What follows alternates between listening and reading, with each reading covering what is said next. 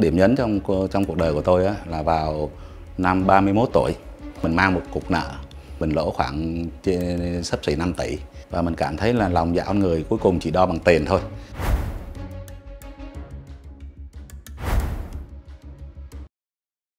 Tôi uh, mở một cái quán bar. Khi mở ra thì cái tiền tích lũy mình không đủ. Mình có thuyết phục bố mẹ và mình cầm giấy tờ nhà đó mình vay ngân hàng và cũng hợp tác với một người và cũng bị gạt gẫm trong đó. Sau đó bị chính quyền nó tới kiểm tra và nó rút giấy phép. Sau khi mà xảy ra sự việc đó thì thì cái người hợp tác họ bỏ trốn đi. Cuối cùng là thành ra mình mang một cục nợ mình lỗ khoảng sắp sấp xỉ 5 tỷ. Và mới đầu cũng chưa dám nói với bố mẹ đâu cũng gồng gánh cái nợ đó. Và sau này khi ngân hàng họ tới nhà họ họ làm giữ họ tới nhà họ đưa ra ờ, pháp lý các thứ rồi đó, thì bắt đầu bố mẹ phải ờ, thương con mà thì bán nhà. Thì khi mình bán căn nhà đó thì gia đình xảy ra mâu thuẫn rất là lớn. Mấy đứa em thì nó không đồng ý, nó làm rất là dữ, tại vì nó nghĩ là khi bán căn nhà đó trả nợ thì thật là trả nợ hết gần một nửa rồi, còn một nửa thì nó bị ảnh hưởng cái phần của nó. Cao điểm cái mâu thuẫn đó thì mấy đứa em nó nói sẵn với mình, nó nói hỗn tánh mình nóng thì mình cũng sáng ờ, bà tay mấy bà tay thì sau đó ờ, nó xông lên nó đòi đánh. Em út nó có nói một câu là à, nói trước mặt ba mẹ nói là trên đời này sau này là không đội trời chung với với tôi. Nếu ba mẹ mà còn cưu mang thì nó sẽ đi. Nó đưa ba mẹ vào thế phải lựa chọn. Thì tôi biết là tôi sai ờ, trong vấn đề làm à, ảnh hưởng đến đến cái tài sản của gia đình. Tôi sống là chưa bao giờ tôi nghĩ cho bản thân mình lúc mà chưa có vợ là làm bao nhiêu lương đều nộp về hết cho bố mẹ. Trong cái thời gian mình làm ăn trước khi mở quán thì anh làm ăn rất tôi làm ăn rất tốt. Và và em út là không có thiếu cái gì nếu mà cần. Nhưng mà khi mà mình xa cơ như vậy thì vì một khoản nợ đó. Và mình cảm thấy là lòng dạ con người cuối cùng chỉ đo bằng tiền thôi. Từ thời điểm ở đây bây giờ cũng khoảng uh, mười mấy năm á.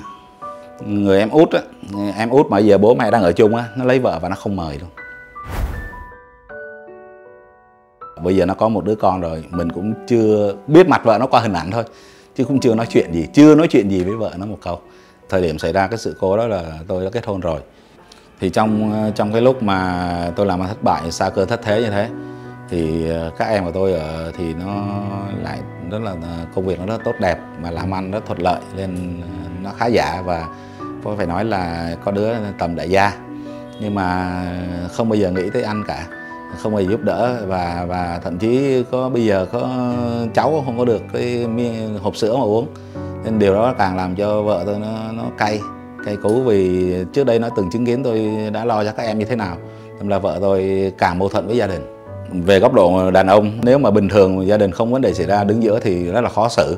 Còn vấn đề của tôi thì nó, nó rõ ràng hết rồi. Thứ nhất là à, giữa tôi và bên gia đình tôi tôi chọn bên nào thì thực sự là chắc chắn tôi chọn vợ tôi vì lý do là tại vì khi mà chưa có mâu thuẫn giữa giữa vợ tôi với họ thì họ đã từ tôi rồi mà. Do tôi làm ăn thất bại họ đã từ tôi trước rồi. Nên bây giờ có tôi có chọn họ thì họ cũng có nhìn mặt tôi đâu. Nên tôi tôi sẽ chọn là chọn vợ tôi. Khi mà đi và ra, ra phan thiết thì có để vợ vợ với bé nhỏ đó về bên bà ngoại. Ông ăn kết nghĩa ông mới biết mình làm ăn thất bại. Thì ông mới điện ông ấy ra ra đây với ông làm ăn. À, sau đấy thì à, tôi quyết định là tôi ờ, ra hà nội lập nghiệp ông ấy ông anh mới đợi, nghiên cứu là sẽ mở gần bờ hồ một cái quán cơm tấm Sài Gòn. Ông sẽ cho mình mượn vốn làm cổ phần để mình làm. Và lúc đó là quyết định là chuẩn bị là đưa vợ ra để phụ. Trong đầu lúc mình cũng hy vọng lắm mình cảm thấy là có thể mình sẽ vực lại được. Nhưng mà không ngờ khi mà tôi đưa vợ con ra Hà Nội ờ, mới đầu thấy tốt đẹp thì mình cũng mừng nhưng mà không ngờ đó lại là quyết định sai lầm để dẫn tới biến cố lớn hơn tiếp theo của tôi. Thì đang trôi chảy như thế thì bỗng một ngày đó thì nhận được điện thoại của, của bên nhà vợ điện cho vợ nói là ba mẹ cấp cứu ở trong bệnh viện 115 á đang đi tiếp khách thì vợ mới điện về. Bà mẹ vợ bà đi bán về thì ông nó nằm đó mà lúc đó chắc cũng mất rồi. Nhưng mà cứ phải đưa vào. Buổi chiều thì nhận được cái điện thoại đó là 12 giờ đêm bay luôn thì lúc đó tôi cũng nghĩ là mình là cũng là rẻ mình cũng chọn đạo hiếu mình về mình lo đầy đủ hết tất cả các thủ tục các thứ. Mình lo chu đáo thậm chí đêm thức khuya để căn lên cữu luôn. Thì nhưng mà sau đó thì bà má vợ bà không cho đi. Bà kêu là bà buồn bã các thứ là bà muốn ở đây chứ bây giờ ba mày mất rồi. À, tao có mình à mày đi ba mày đi như vậy ba mày cũng không thấy mặt lúc nói chung không thấy mặt cháu. Thì ờ, lúc đó về một tuần đó một tuần nó về ở trong nhà vợ mình đang gọi là mình thất nghiệp tạm thời và đang ờ, giống như đang đi kiếm việc móc cái quan hệ để đi kiếm việc khác.